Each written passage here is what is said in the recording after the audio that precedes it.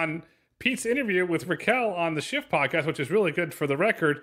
Raquel said, who she the CEO of Waabi, that they are going to go driver out on public roads by the end of the year.